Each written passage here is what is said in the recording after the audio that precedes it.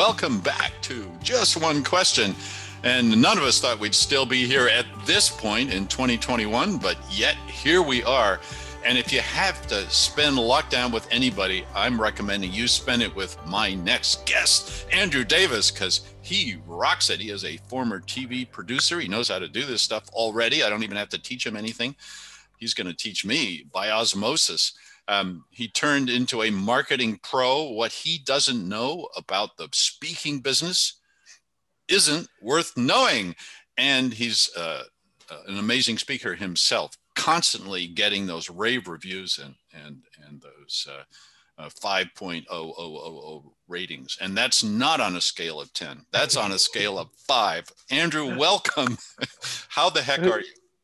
Hey, I'm good. I'm, I'm so excited uh, that uh, that we get a chance to chat just mm. for a few minutes, and I'm really excited. This is what a great question. How am I? I'm doing great. I'm having a really good time in the virtual world, and I can't wait to get back to in-person events. So I'm I'm doing great.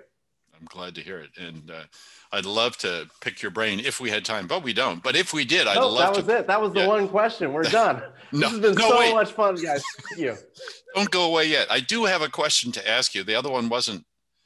Uh, gosh, I'm sorry. You got me. You know, this is. It's not just one question. It's actually two questions. False advertising, but yeah, I'll, I'll, I'll I'll give you a bonus. That was a throwaway question. Mm. Let's do a real question for just one question. Thank you. I deeply appreciate your kindness, your generosity. It's a special episode of just another question. Excellent. Okay. Yeah. All right. So, just one question.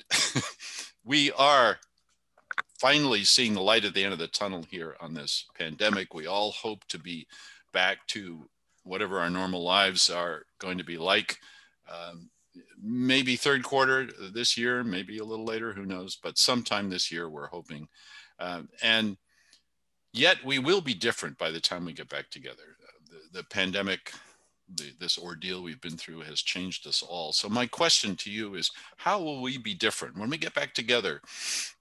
What will we have learned that's changed us? How will we be different, better, worse? Take it any way you want. You're up. Yeah. okay all right i think look i think um, i think it will be different i did a, a, an in-person event in november uh, in a room set for 450 people, and there were only 20 people allowed in the in the venue at a time. And I did the same keynote four times, and everybody was wearing masks. Um, and so I think in the near term, it'll feel very, very different. You know, I talked to a lot of event producers who are spending a lot of time, money, and energy ensuring that events are going to be safe you know they're bringing emts on site they're creating separate rooms in case anybody feels like they have any symptoms you know everybody's going to be wearing a mask we still won't be shaking hands so mm. i it's going to feel really different in the near term that is for sure i think over time things are going to change and uh, you know i think it will start to feel normal probably in a year or two or more normal more the old normal hmm. uh, the way it used to be maybe we'll be able to hug people again um, and sneeze without getting a scared look uh, from the hmm. people in the row near you you know we'll still be socially distanced and I think it poses for a speaker a lot of challenges. You know, it's it, it's hard to uh, to really feel like you're engaging with an audience that's got half of their face covered.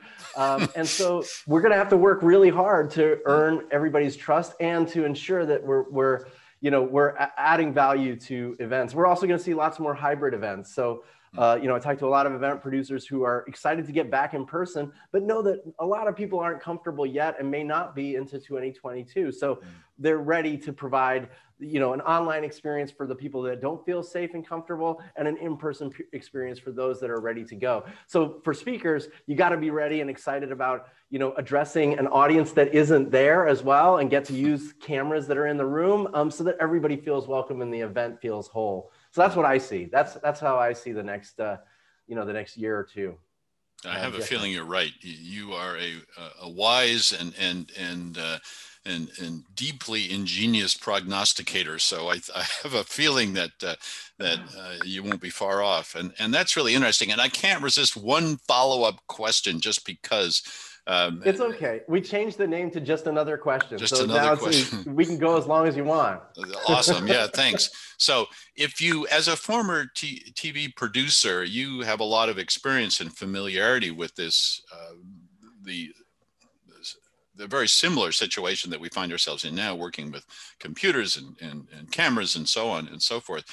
If there was one piece of advice you would give to speakers who are still finding their way in this new space, uh, yeah. what would you say? I'd I'd say embrace the constraints. You know, hmm. uh, you might feel like being stuck at your desk speaking into a lens is really lame and you don't have the great audience interaction. But if you embrace the constraints and you really start to think to yourself hey look what can i do in a camera or with a virtual event that i could never do on stage? It starts to open up lots and lots of possibilities and you can start to have fun with the technology and your audience and the experience you provide. So embrace the constraints and start to look for inspiration outside of the event space you know watch live television shows. Uh, I watched um, Pioneer Woman very early on in the pandemic and realized that they were shooting the entire half hour Food Network episode with just a bunch of uh, you know consumer technology, and she was using her kids who were home from college uh, as her crew and the show looks great. I mean, it's it's different, but it, she's using technology we could all use. So embrace the constraints and start thinking about creating something that's very different from an in-person experience and something you could only do in this little square here. And I think you'll have lots more fun with it. I love that idea. Yeah, don't don't see it as a, a just a, a, restriction and, and a, a lesser thing, but have fun with it. Once again, Andrew Davis nails it. Thank you, sir. Thank you for humoring me with multiple questions. It's great to see you. Thank you so much. Bye, everyone.